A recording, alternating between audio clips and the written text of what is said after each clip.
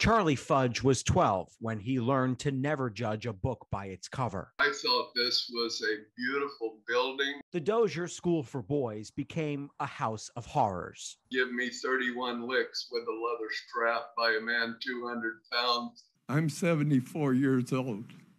This has lived with us our whole lives. He was one of four victims to speak to the Florida Senate's Criminal Justice Committee on Wednesday as they try to explain why they should receive victim status and compensation. I survived Vietnam and I survived Dozier.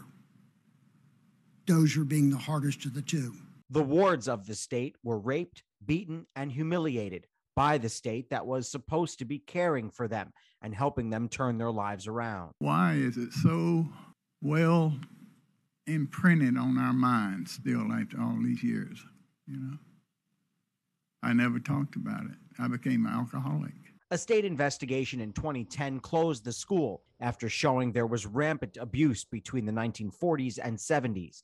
St. Pete Senator Darryl Rouson introduced the bill that would qualify the survivors as victims so they can eventually receive compensation. Words were the apology, words were the acknowledgement.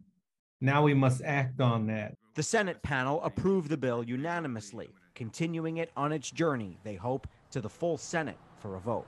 I would have been 14 years old too, and by the grace of God, there that I might have been there too.